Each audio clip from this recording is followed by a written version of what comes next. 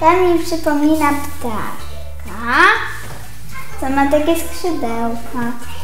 Ma takie dwie nóżki i ma, i ma plęty. To jest e, przy plalce i jak plalka e, zrobi już e, ubrania zrobiły cyciutkie, to, to coś e, je suszy. Tu ma skrzydełka, a tu ma taki grzebień.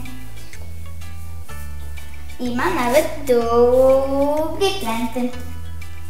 To się nazywa suszarka do bielizny.